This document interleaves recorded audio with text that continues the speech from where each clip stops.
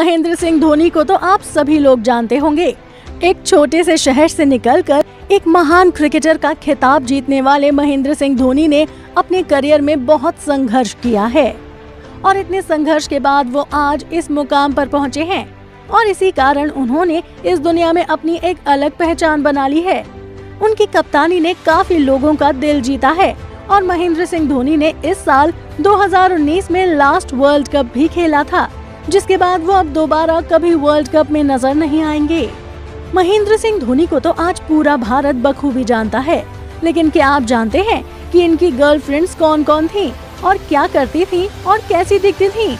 तो ये सभी बातें जानने के लिए आप हमारी वीडियो को एंड तक देखें और एम एस धोनी की शानदार कप्तानी के लिए और बेहतरीन बैटिंग के लिए आप हमारी वीडियो को लाइक करना ना भूलें।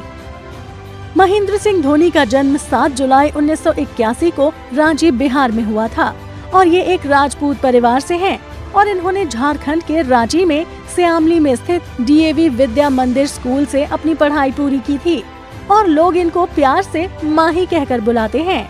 लेकिन अगर बात की जाए इनकी पर्सनल लाइफ की तो शादी से पहले इनका अफेयर काफ़ी लड़कियों के साथ रह चुका है। तो चलिए जानते हैं उन्हीं के बारे में।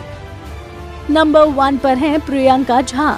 दोस्तों, एम एस धोनी और प्रियंका झा की मुलाकात कॉलेज में हुई थी और बताया जाता है कि प्रियंका झा कॉलेज टाइम से ही धोनी को बहुत प्यार करती थी।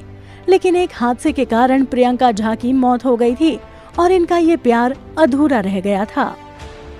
नंबर टू पर हैं दीपिका पादुकोण। बताया जाता है कि दीपिका पादुकोण भी महेंद्र सिंह धोनी से बहुत प्यार किया करती थी। और ये भी बताया जाता है कि इनकी नजदीकियाँ भी बढ़ती जा रही थीं। फिर पता नहीं ऐसा क्या हुआ कि धोनी का ये दूसरा प्यार भी अधूरा रह गया और दीपिका पादुकोण की नजदीकियाँ युवी की तरफ़ कुछ ज़्यादा ही बढ़ गई और एक बार फिर धोनी अकेले रह गए। नंबर थ्री पर है राय लक्ष्मी।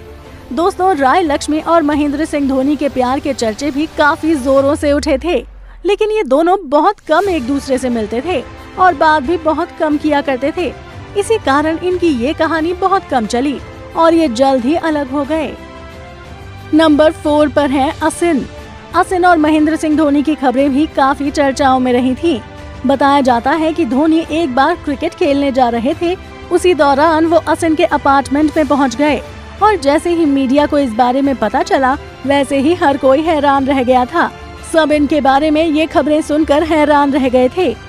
लेकिन इनकी ये छोटी सी कहानी बहुत जल्द खत्म हो गई। नंबर फाइव पर है साक्षी।